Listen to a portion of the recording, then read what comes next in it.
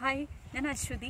ഞാൻ രണ്ടായിരത്തി പതിമൂന്ന് മുതൽ രണ്ടായിരത്തി പത്തൊമ്പത് വരെ ഐ എ സിയിലുണ്ടായിരുന്നു കെമിസ്ട്രിയിൽ എസ് എസ് സി ഡിപ്പാർട്ട്മെന്റിൽ പി എച്ച് ഡി ആയിരുന്നു അതുവരെയുള്ള മുദ്രകളുടെയൊക്കെ ഭാഗമായിട്ടുണ്ട് ഞാൻ. ഈ രണ്ടായിരത്തി പതിമൂന്ന് മുതൽ രണ്ടായിരത്തി പത്തൊമ്പത് വരെയുള്ള ആദ്യമായിട്ട് രണ്ടായിരത്തി പതിമൂന്ന് ഡിസംബറിലൂടെ ഹോസ്റ്റലിന്റെ മുന്നിലൂടെ ഞാനിങ്ങനെ നടക്കുമ്പോൾ സോമേട്ടൻ വന്ന് ചോദിക്കുകയാണ്.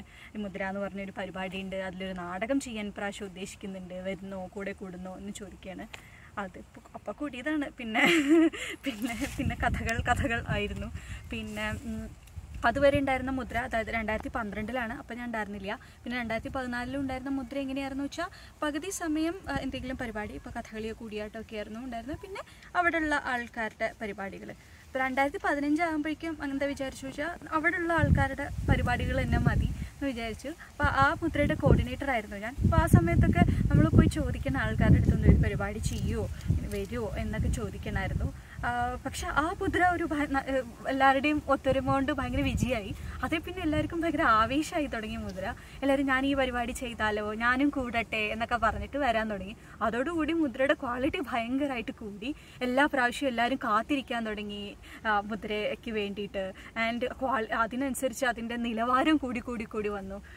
അപ്പോൾ അത് ഭയങ്കര നല്ലൊരു പരിപാടിയായിട്ട് മാറി തുടങ്ങി. മുദ്രകളുടെ ഓർമ്മകൾ എനിക്ക് പറഞ്ഞാൽ തീരില്ല. അതുകൊണ്ട് തന്നെ ഞാൻ മുദ്രയ്ക്ക് എന്തുകൊണ്ട് മുദ്രയിൽ പങ്കെടുക്കണം എന്നുള്ളതിനെ കുറിച്ച് എനിക്ക് രണ്ട് വാക്ക് പറയുന്നുണ്ട് എന്താ വെച്ചാൽ മുദ്ര ഉറപ്പായിട്ടും കുറേ ഓർമ്മകളും സൗഹൃദങ്ങളും കിട്ടും.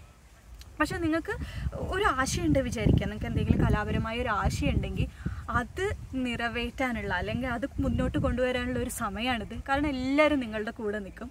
അതല്ല നിങ്ങൾ ഇതുവരെ ഒന്നും ഡാൻസ് കളിച്ചിട്ടില്ല പാട്ട് പാടിയിട്ടില്ല നാടകം ചെയ്തിട്ടില്ല വെച്ചാൽ ഇതേ ഇതാണ് അവസരം. ഐ സി കുറച്ച് സീരിയസ് ആയിട്ടുള്ള സ്ഥലമാണ്.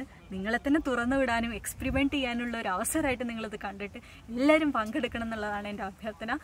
ഇതിൽ പങ്കെടുത്തു കഴിഞ്ഞ് കഴിഞ്ഞാൽ വെറുതെ ഒരു കുറേ ഓർ- ഓർമ്മകൾ മാത്രമല്ല ജീവിതത്തിൽ ജീവിതത്തിൽ കൊണ്ടു നടക്കാൻ പറ്റാവുന്ന ഒരു മുതൽ കുറേ വാല്യൂസുള്ള മു കുറേ മുതൽക്കൂട്ടായിരിക്കും ഇത്. അങ്ങനെ കിട്ടിയ ഒരു മുതലിനെ ഞാൻ പരിചയപ്പെടുത്തിക്കൊണ്ട് എല്ലാവർക്കും ആശംസിക്കുന്നു. ഇതാണ് നമസ്കാരം. ഞാൻ ദീക്ഷിത്. ഞാൻ മുദ്രയുടെ ഒരു സഹയാത്രികനായിരുന്നു.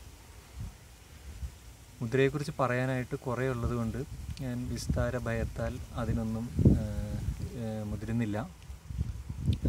ഇപ്പോൾ അശ്വതി പറഞ്ഞതുപോലെ അത് വെച്ച് ആലോചിക്കുമ്പോൾ മുദ്രയെക്കുറിച്ച് ആലോചിക്കുമ്പോൾ ഇപ്പം പെട്ടെന്ന് തോന്നുന്നത് ആ പാട്ടിലെ വരികളാണ്. പാടുന്നോർ പാടട്ടെ കഴിയുവോളം. ആടുന്നോർ ആടട്ടെ തളരുവോളം.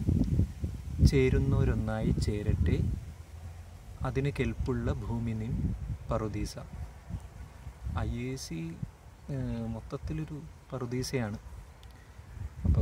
ഇത്തവണത്തെ മുദ്രയിൽ പങ്കെടുക്കുന്നവർക്കും കണ്ടിരിക്കുന്നവർക്കും മുദ്ര നല്ലൊരു അനുഭവമാവട്ടെ എന്ന് ആശംസിക്കുന്നു. നന്ദി നമസ്കാരം.